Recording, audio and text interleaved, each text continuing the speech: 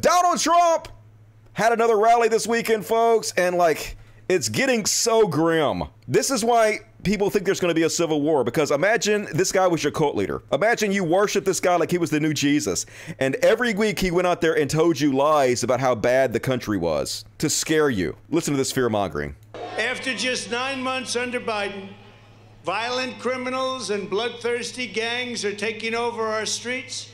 Cats are exploding on playgrounds and killing all the children. Godzilla is running rampant in our streets, and King Kong refuses to help because he hates Joe Biden. Every single one of you will be raped and murdered by the stroke of midnight because of Joe Biden. I mean, it's no wonder they're fucking freaking out, folks. It's just excessive fear mongering as hard as he can push it. And then uh, let's go right into the racism. Yeah. I mean, the Afghanistan refugees, we went over there, spent trillions of dollars, killed hundreds of thousands of them, displaced more of them. These people are in dire need of help because of our actions. Not just our actions, but our actions are definitely included in that. And of course, Donald Trump gonna get out there and make them the bad guys, make you scared of them. So when we do have refugees coming over there, and I show you video after video of Trump supporters shitting on them, being racist to them, being violent towards them. Don't anybody fucking try to tell me that Donald Trump didn't have anything to do with that. Because this is what causes it right here. It was, oh, that was great. They had no idea who was getting on those planes. We still don't have any idea. Only 3% were qualified to be taken to a place called the United States of America. Isn't that something? 3%. You're going to be hearing from those people over the coming years in a very bad way, right?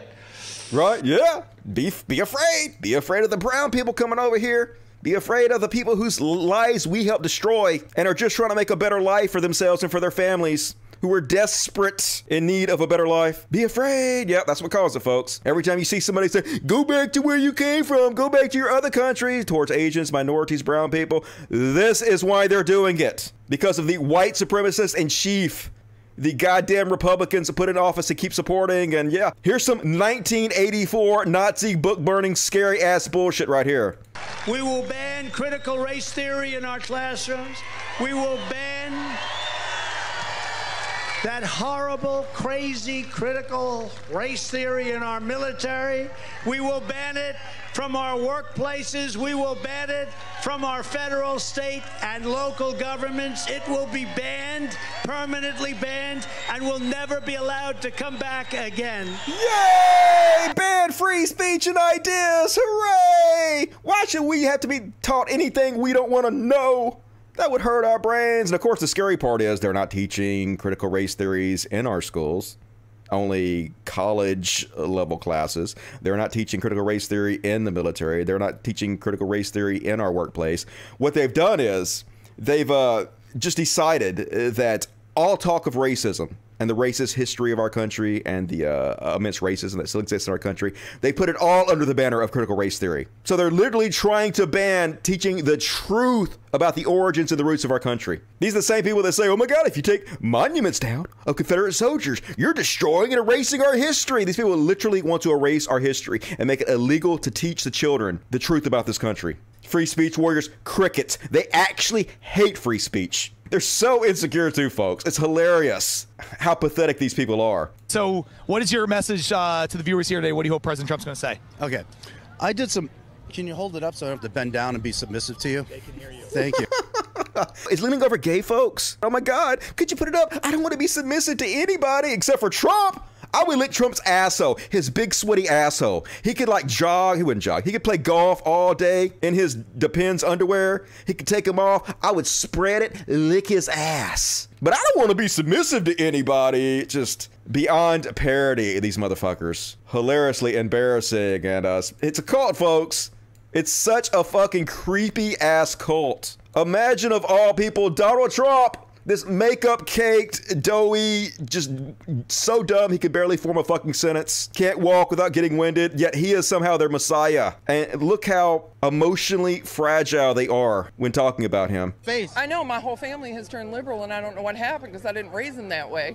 And they've all been brainwashed. Oh my God they are able to think for themselves and didn't believe everything I taught them. They've realized that I'm just a stupid piece of shit that don't know what the fuck I'm talking about ever. I can't believe it. And they've all been brainwashed to think that he's the most horrible man ever when he's saving everyone. Right. I mean, I'm going to start getting emotional. I'm going to start getting emotional because Donald Trump is saving everybody. Literally not saving anybody. He is just a con artist making millions and millions off you gullible fucking idiots. Who the fuck is he saving? It's just bizarre. It's so fucking bizarre. Everything depends on this. America depends on this. We have got to save. We've got to do everything we can. Is, and I'm not even an American citizen. I was born in England, but I've been here since I was five, and this is my home. Wait, you've been here since you were five and you're not an American citizen yet? What the fuck are you waiting on? You're like 70. You've been here 65 years and have not bothered to become an American citizen yet? And we've got to save it. We've just got to. God is with us, and the, the God wins in the end. Right? That's why the enemy is lashing that. out right now. We know, we know we're going to suffer for a while, but it's going to be good. It's You're such be more martyrs. Glorious than anything we've ever So seen. So glorious, We all the to winning you're in doing. God and pray and So much faith. do everything we can. Mm-hmm. Everything. Everything. Yeah. Absolutely. Yeah. We will. We will. I, I mean, Except just get keep the vaccinated, of course. I That's do. what I I have do. Keep the complete faith. that this man is going to save us. He's going to basically saving the world. He's not yes. just us. Trump is saving the he's basically Everyone. Superman, Trump. And I just can't wait until I'm never going to say I told you so, but I'm just going to be just so happy and I don't know what else to say. Trump! Superman gonna save everybody! You know it's true. And uh, then this woman went viral, folks, talking about a civil war is coming. Because, like, you can understand why they believe this. They listen to Trump just tell us, you know, it's the worst it's ever been. You're all going to die in your sleep. You're going to be murdered by Joe Biden. He's going to sneak in your window and slit your throat. So they really believe all the fear he spreads which makes them want to murder us all. They lost the election, they can't take it, and they'd rather kill us all than just let democracy run its course. I want to introduce you to one woman we spoke to who had some thoughts on the current state of the party.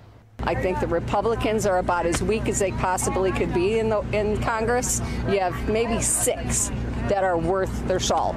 Ted Cruz, Mike Lee, Rand Paul, and two or three others. Marjorie Taylor Greene, B- Boebert. The rest of them are just the same as the Democrats. They've been there too long. They They're literally aren't. If you look at the stuff they vote for, they're not the same as the Democrats at fucking all. establishment. They don't care about the American people because they're in their elite little tower. And so we're just sick of it. They're in their elite little tower. The guy you worship literally lived in a gold tower. Like, what the fuck? How can they not see it? How can they be this far removed from reality? It's just so frustrating. you know and we're not going to we're not going to take it anymore i You see are. a civil war coming i do i see civil war coming I, we're not going to take it anymore. We cannot stand that someone voted for somebody we didn't want them to vote for, so we're going to have to murder you all. We're the good guys, though. I see a civil war coming. And that's the sort of sentiment that we're hearing from a lot of folks here in Des Moines, from the economy to Afghanistan to the border. But don't worry, there's not going to be a civil war. Zero percent chance a civil war is going to happen. Uh, first off, the military we have now in the United States is not like it was hundreds of years ago when the Civil War happened, right? It's completely fucking different. The Y'all Qaeda and the Gravy Seals might commit some domestic terrorism here and there to try to uh, jump off a civil war. But all that's going to happen is they're going to get knocked down real fucking quick, killed in prison, and uh, nothing is going to fucking happen. But once again, let's take a look at uh, the Gravy Seals training for the Civil War, folks. The best of the best. They're preparing for Trump's Civil War. We should all be very afraid. Look at them. Oh shit, they're badass. Boom. Oh, yep. Now it's your turn. Now you shoot. Now it's my turn. You shoot. And now I'm gonna shoot and oh yeah, I just shot you in the head. Yeah. Oh, accidentally. Oh wow. Okay. Yeah. Cool. They're just gonna kill each other, folks. Nothing to fear from these guys. But you know who I do feel sorry for? The left-leaning, rotten, tiny trees. Because uh, here's Special Forces Commander MAGA Madison Cawthorn, and oh shit, fucking those rotten trees up. God damn it. What were you thinking? That tree is Antifa. I can just tell. I can tell it's an Antifa tree, so uh, I'd be scared as shit if y'all you Antifa trees out there. He coming for y'all.